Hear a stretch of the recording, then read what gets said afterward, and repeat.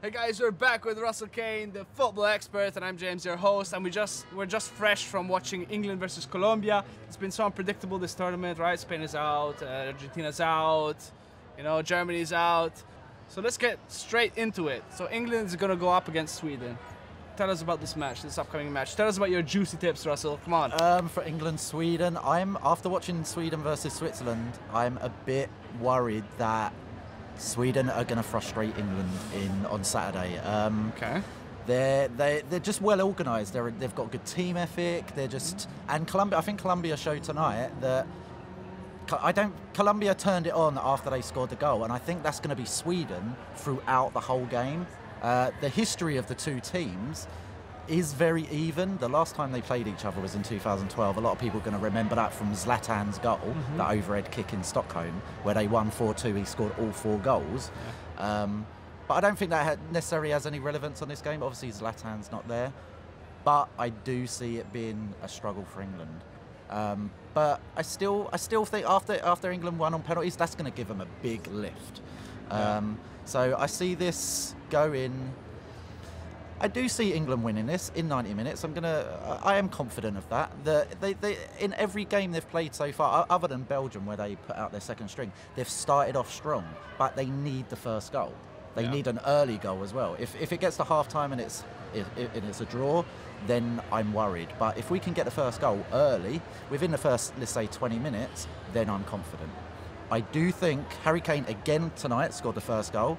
So he's the obvious pick for the first goal scorer. He's, he's top goal scorer in the tournament, six goals now.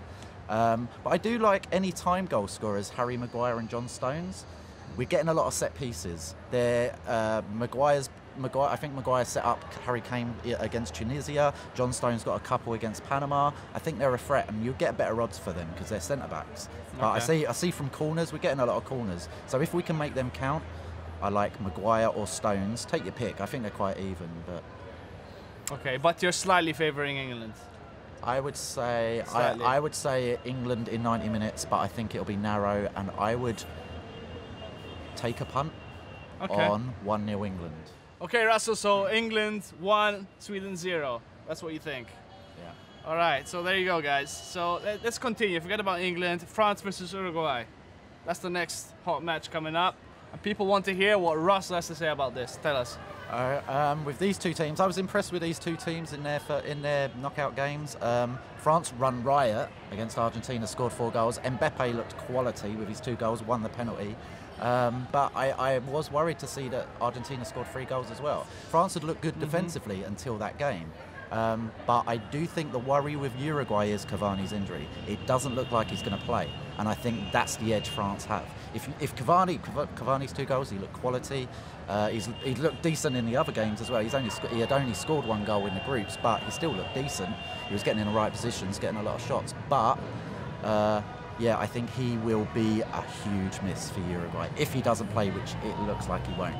Uh, I like Griezmann, first goal scorer. He scored the first goal uh, against Argentina. Scored mm-hmm. the first goal in their first game against Australia. He's had the most attempts in okay. f- for France, which is 12. Double the next player, Giroud, with six. Um, he's on penalties. He hit the bar as well in the last game from a free kick, so he's on free kicks as well. He's just getting in the right places. Uh, yeah, I like Griezmann. Um, but okay. also, but also for this game, I like both teams to score in this game. Uruguay, even without Cavani, you've got Stuani who might come in, plays for Girona, scored 21 La Liga goals. You've got he might. I, am assuming he'll come in for Cavani, but it might. If it's not him, it's going to be Gomez. Scored. I think he scored 17 goals in La Liga for Celta Vigo. Both are in good league form, okay. but they've not done much at the tournament. So if they come in, they they have got the ability to do something, but. Um, we need to see that first. But any time goal scorer on them too, if you can get good odds, yeah, I think that's a decent bet as well. Great, thanks, Russell. So France has a little bit of an edge. Hope you noted that down. Let's move on to Belgium versus Brazil. So tell us, Russell. Um, Brazil, I've been very impressed with. Uh, mm-hmm. They've been very consistent. Won three three games, two 0 on the bounce. Haven't conceded a goal and, uh, uh, since their first game against Switzerland. Um, so they've had three clean sheets on the bounce as well. Uh, and then there's Belgium, two went 2 0 down to Japan. Nobody saw that come in. I think there was questions about Belgium coming into this tournament if they they're the golden generation. can they, have they got too many stars? Can you put all, them all in together? Can they all play together? But I think the Belgium Japan game showed that they can because their mentality was just beyond anything that game. I thought when you're two 0 down and you come back, Yeah. impressive. I was very impressive, impressed with that. Uh, with this game, I do like Brazil to win this in normal time again Okay. um, narrowly. I do like both teams to score. They're, they've got Belgium are the top goal scorers with 12 goals. Um, combined, they've got 19 goals. They've had the most shots.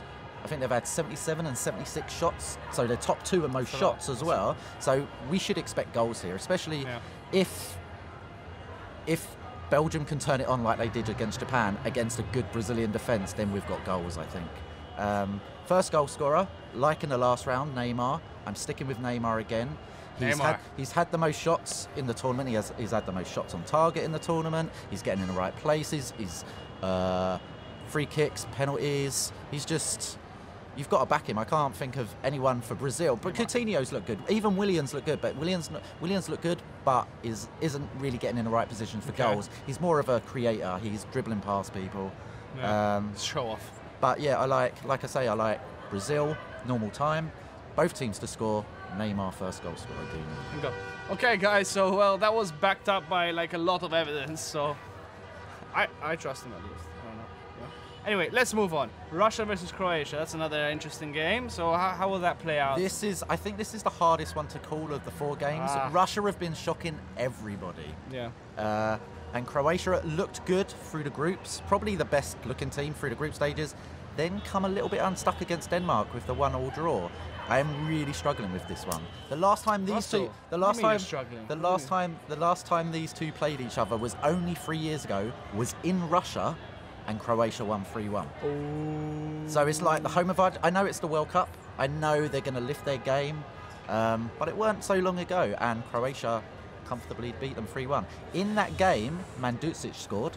He also scored against Denmark. So I like him to first goal scorer for this game. I like Mandzukic. Um, All right. uh, and anytime goal scorer for this game, I like Modric because he's on penalties. Yes, he missed one, but uh, in extra time against Denmark.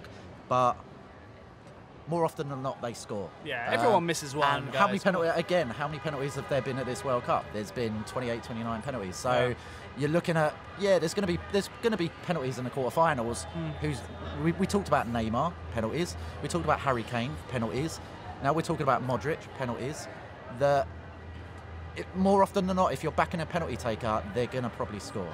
So, yeah, Modric anytime goal scorer. Mandzukic first time, Modric anytime, and I'm backing Croatia to take this in normal time, but narrowly, and Oh. by one goal. I could be it one 0 two one, Wow. but I think it's going to be very close. Okay, so I think Russia are going to give them a run for their money. Okay, great. So there we go. I think we covered everything. Thank you, Russell, for being here again. No worries. My, my man, my man. And thank you, of course, for watching. We will keep releasing these videos until the end, right? We're here till the end. It's getting so exciting. This is this is the meat of the it's the World best Cup. World Cup ever, James. It's, it's the best World Cup, is it? it is. Yeah, I Other was than, was other than on board to see the other one. 1966, but I weren't there. so- Yeah, neither was I. So it doesn't count, right? So this is the best one till date, and probably it's gonna it's gonna keep living up to these expectations. so, let's yeah, hope let's so. hope so. Okay, thanks for watching, and see you in the next video.